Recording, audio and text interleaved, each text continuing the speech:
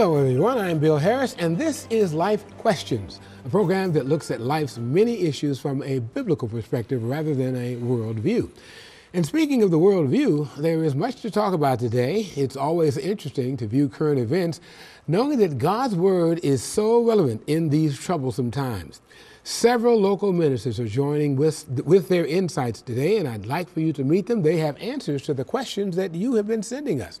First on our list, we have Pastor Dave Burkhart of Westminster Methodist Church, United Methodist. And then we have uh, Chris Ewing, who is pastor of County Line Church of the Brethren, followed by Pastor Rick Lamb of Hume United Methodist Church, and rounding our panel, Jon Buerger, who is pastor of Transform Church here in Lima. Gentlemen, we're happy to have you with us today. Good to be here. Yeah. All right. Listen, we've got so many good questions, and we've been, of course, rehearsing and reviewing them to take a look, and you all have had a chance to see them even before coming here. I think one of the main ones we're getting that I think we ought to lead with today is the question of anger, because there's so much of it in our society, wouldn't you say? The question simply asks, how can I prevent myself from being angry? Now, I don't know if that person is saying there's so much going on in the world that's causing me to be angry, or maybe there's so much going on in his home or her home, where it is, but there is anger aplenty to go around. What sayest thou, gentlemen?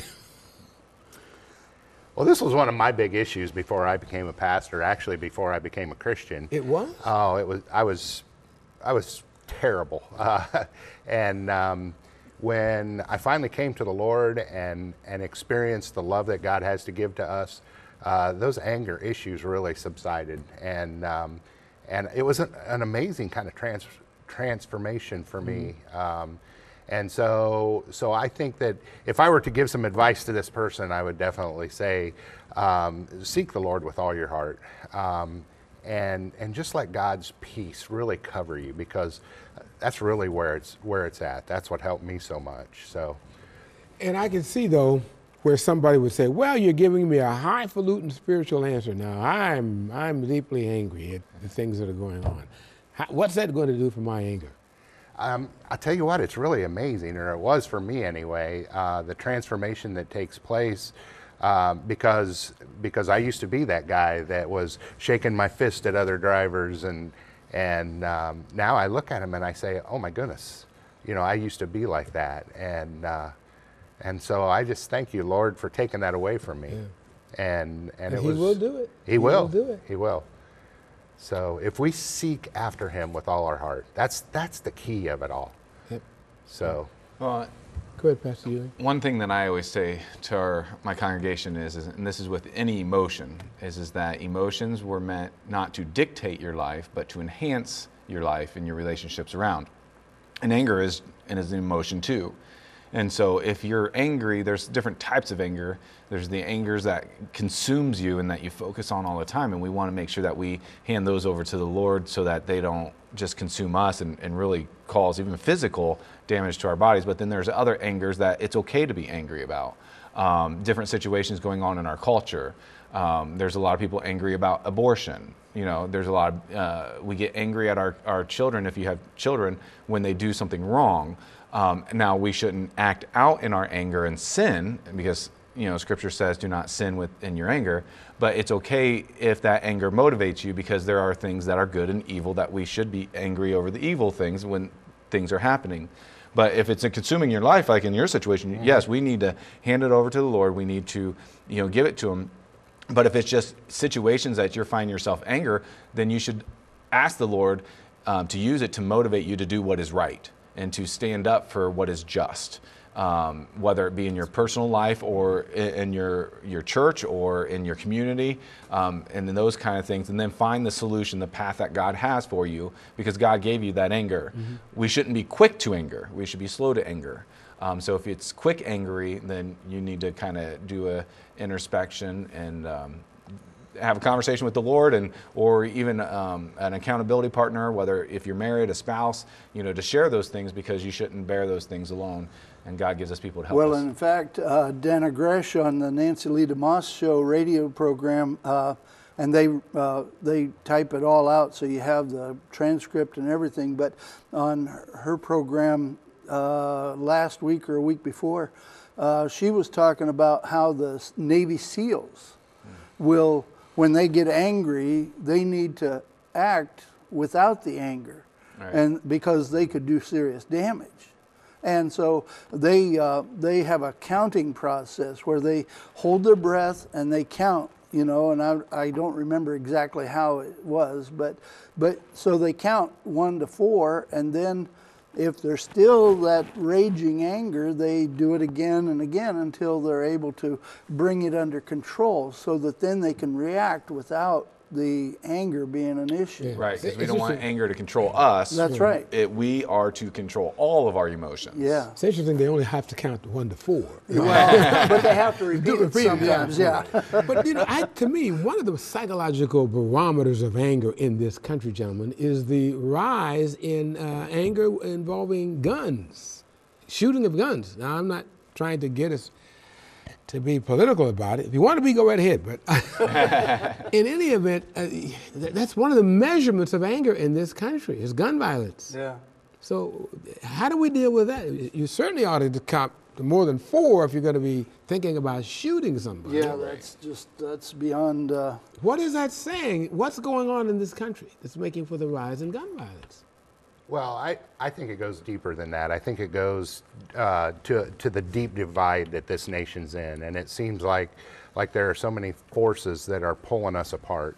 Um, there's a media that um, has to create a constant narrative of, of separation in this world. And, and we see it in, in politics where we, we see Democrats and Republicans that are arguing with one another. And, and um, you know, we see people saying that we need to get in somebody's face, and this is coming from, you know, Capitol Hill. And when we hear that, um, it, it gives people a, a real sense of, well, if they can do it, I can do it too. And and I just, I hate to see that. We're supposed to be sharing love in this world. Yeah, what, what are you saying in your pulpit then about this? What are you, what are you telling folks? Well, I, I teach from the scriptures, and so uh, continually uh, share God's word with, with folks about um, how we're to continue to love. And sometimes, sometimes love looks confrontational. Uh, it has to be. It can be. Um, you know, when we confront sin, we have to confront it, uh, not in anger, but it, it may look like that to some people in Tough the world. Tough love? Yeah, Talk Right. about it. Yeah. yeah, certainly. I, I heard somebody say um, recently that as Christians, we are challenged to speak truth, whether it is hurtful or not. I mean, truth is truth, it's not relative, it is truth. And so, you know, with all this anger, you know, you talk about gun violence, violence in general, you know, I would sit there and say we have an issue of sanctity of life issue, not necessarily a gun violence or any violence issue. I mean, we just don't treat each other with the love, even from a challenging aspect, even as, you know, if we are all believers, we're all pastors, we should be able to come to each other and say, hey, listen, let's have a good debate. Let's, let's, I don't, I, want to know what you're thinking from this passage and why you're saying this because I don't agree with you. And to have a conversation where it is, it, might look like to the outside world where we're angry at each other, but really it's just a strong debate and we're going to walk out and we're going to have a coffee or, uh, I don't drink coffee, so not coffee, but, you know, we're, we're going to go and, and have a meal together and be friends. And mm-hmm. we've lost that ability to do that on so many different levels, you know, and so thinking that, hey, like I want to, if you can, if you can prove me wrong through, especially with scripture, I, I want to be proven wrong yeah. you know, because that means I've got a lot of growing to do. Mm-hmm. Now, but prove me wrong. And that's what I've told many people, even in my congregation, that have said, hey, I don't agree with you. Then fine, let's sit down and let's have a conversation because I've studied this and, and I want to know. If you studied it more than I have and you came to a different conclusion, I want to know it. But if we're not willing to have those conversations about anything, not just about scripture, then and, and, and to come away friends, then yeah, we're going to see the violence. We're going to see the discord. We're going to see all these issues. You know, I saw just recently um, a statistic, I can't remember the exact numbers, but it said that domestic violence began to rise as people were pinned into their homes because of the pandemic. And uh, just husbands and wives that just don't relate that well together. I mean, when they're going to work separately, I guess they can get along better. But the rise in domestic violence was there while we were all strapped inside of our homes. What does that say? Well, and I think he brought up a good impo- important uh, um, idea in that, you know, we are in the image of God. And because we don't recognize the image of God in each one of us, then uh, we, we, we don't respect that and we don't honor that. And so, and so, like you were saying, that abortion, it's okay because we don't know that person yet. But God knows that person.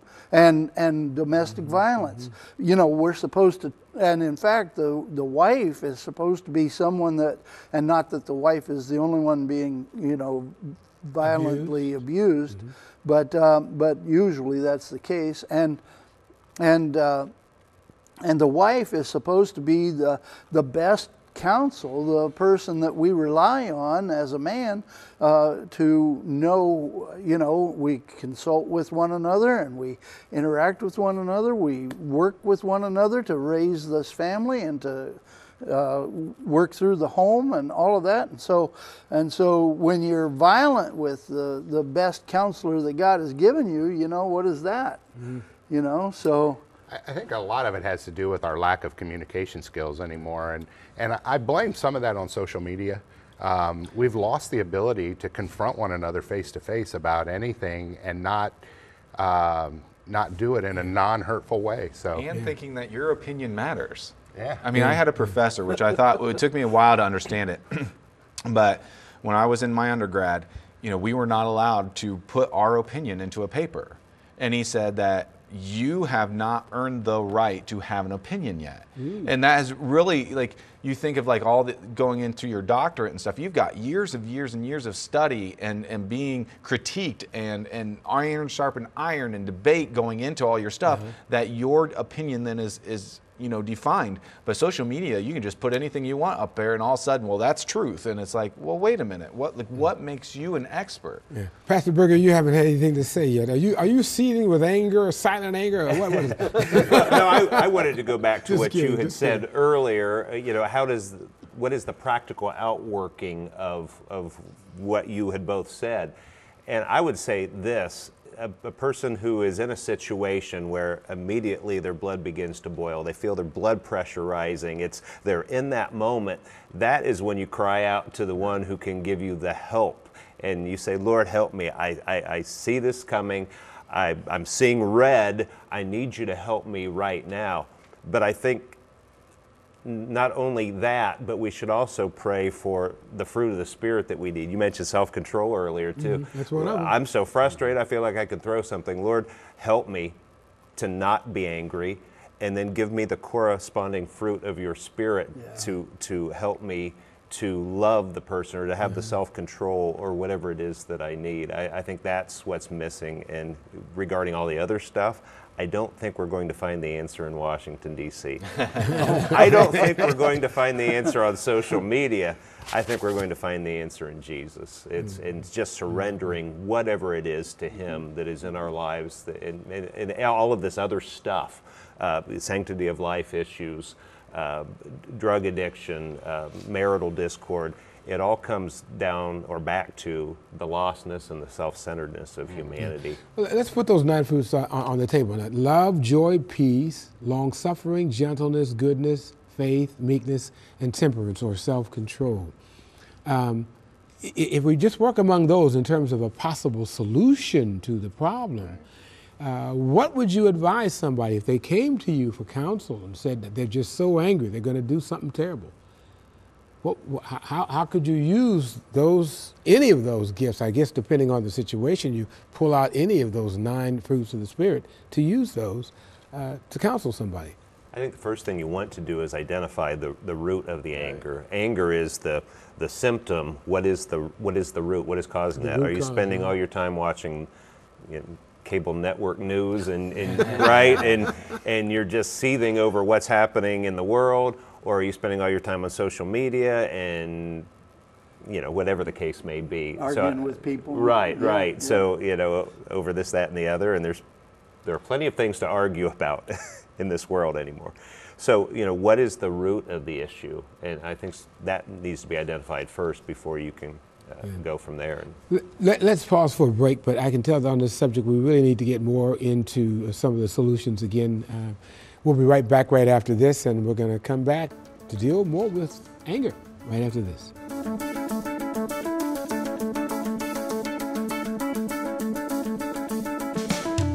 Don't go away. There's still a lot more discussion to come on this episode of Life Questions. But first, do you have a question for a future show? Email it to lifequestions at WTLW.com or call us 419 339 4444.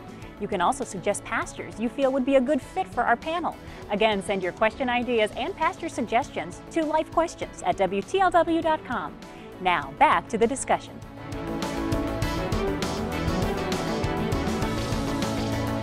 All right, we're back with our discussion on anger. Quickly, gentlemen, I'd like to turn to politics. There is a lot of anger among lay people that Congress, in, uh, in the legislature, that in the White House, and in the Supreme Court, that sometimes nothing gets done.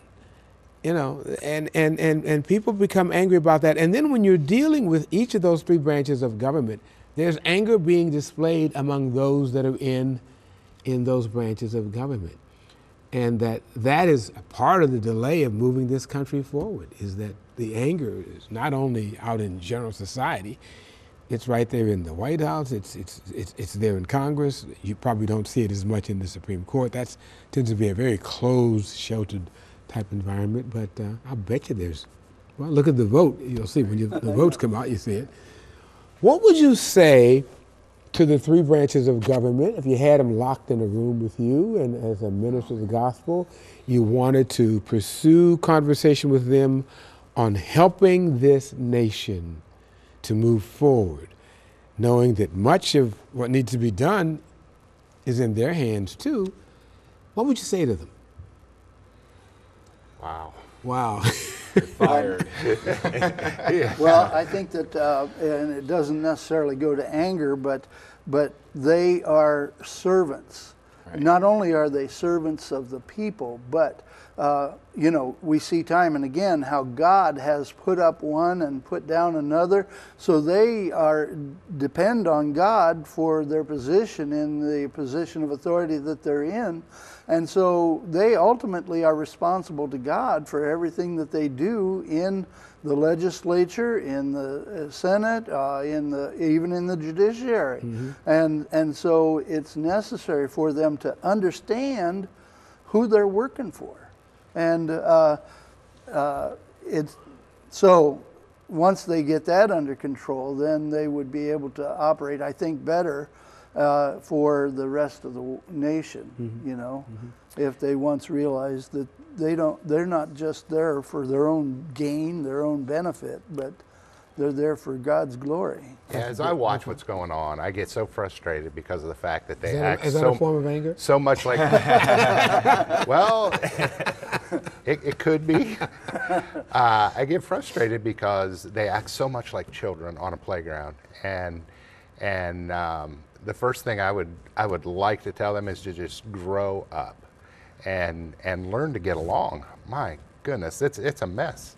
Um, and without laying blame on on either party, um, they set the tone for the nation. They really do more than they think they do. Um, you know, when we watch um, our leaders, uh, we tend to follow their lead, and and I mean that's just the way life works. Mm-hmm. And so, Well, we have to remember that when you have two people competing, you're going to have each one try and say why they are better. And that's what we get. Uh, One-upsmanship? Right. Mm-hmm. You know, no problem in a healthy way, but when you throw it into politics and you start throwing, you know, mud, then you're going to get. And, and their goal isn't really to unite in my opinion right now, to unite the country, it's to keep it divided because, well, this party needs to keep in power or this one. It doesn't matter if you're Republican or Democrat right now, that's both of them doing it. And so, you know, we as a people, I don't sit and ask the question, well, what would I would say to them? I, I do ask the question, well, what am I able to do? And if we really want to see our nation change, then what we need to do as Christian is to spread the gospel because the people ultimately rule the nation by who we vote in, the laws, all that different stuff that goes on. And so you want to change the nation, and then change the people's heart.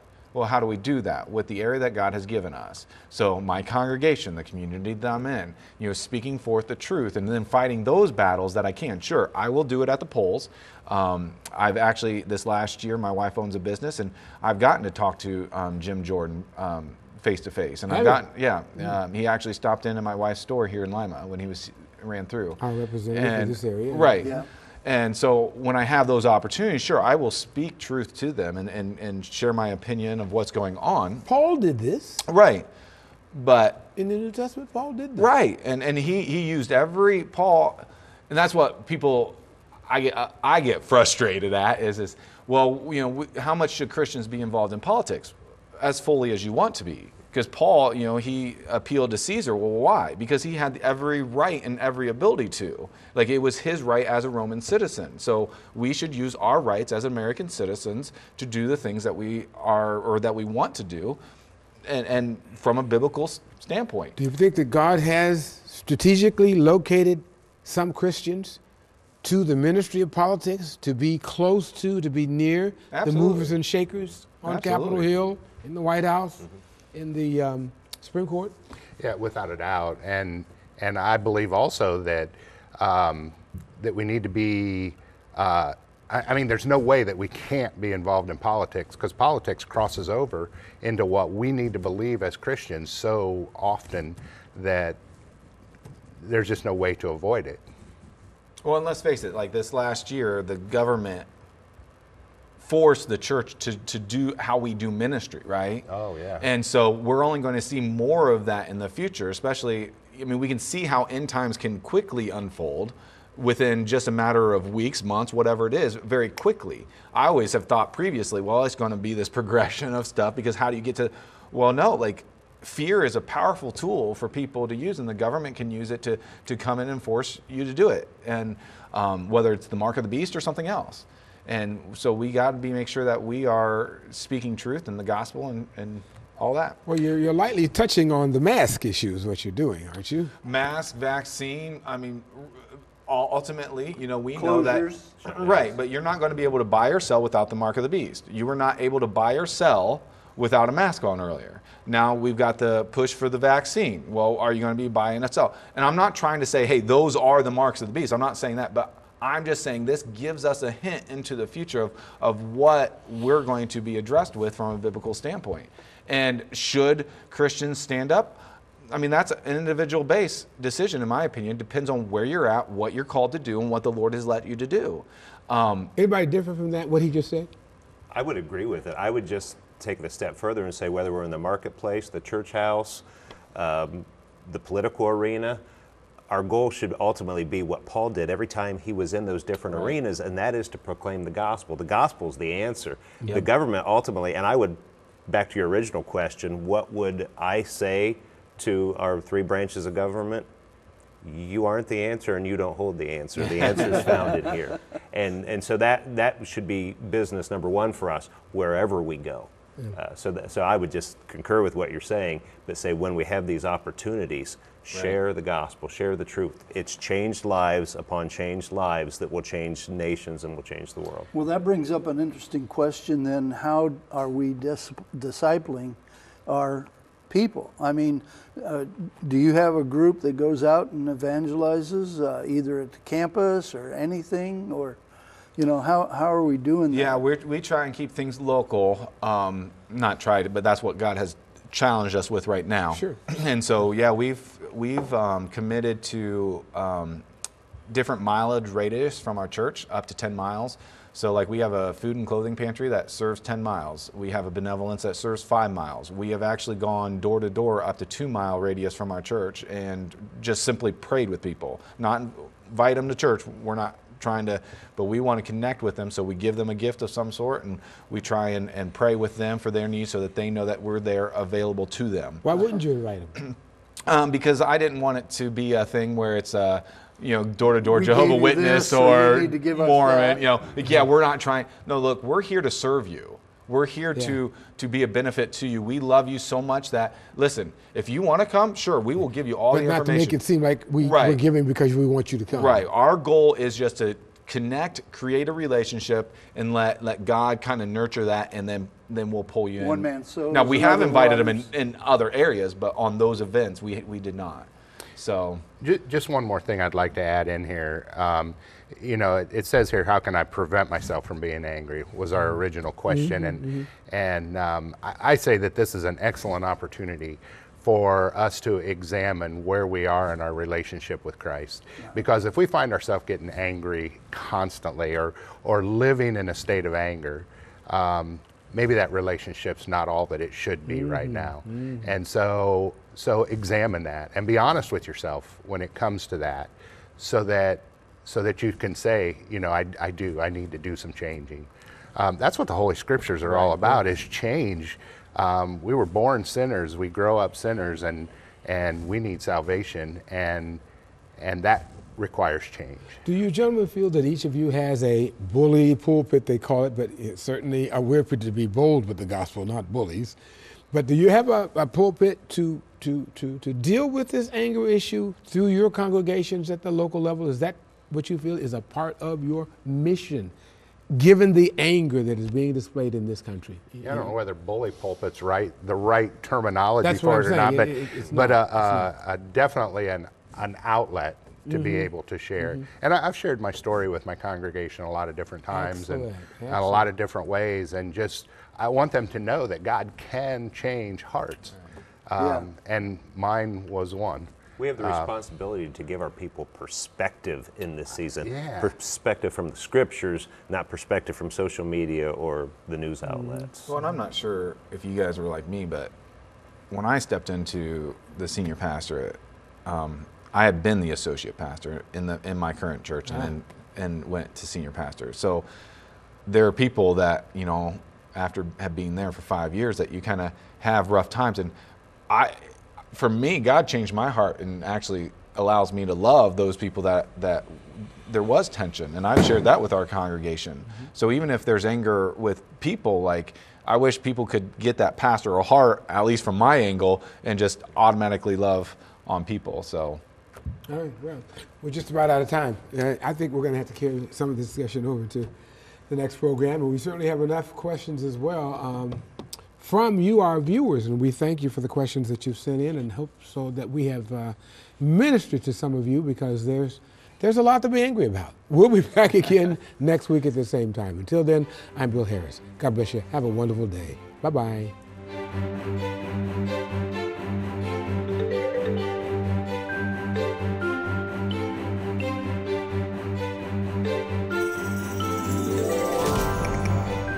You've been watching TV44's newest locally produced program, Life Questions. Now we'd like your feedback. What did you enjoy about this show and what would you like to see more? Perhaps you have your own questions you'd like us to pose to our panel of pastors in a future show. Submit your questions now by email to lifequestions at WTLW.com or call us with your thoughts. We're able to discuss relevant topics with local pastors right here in the TV44 studio thanks to your financial support. Now is an excellent time to make a one time gift to TV44 or consider becoming a monthly donor.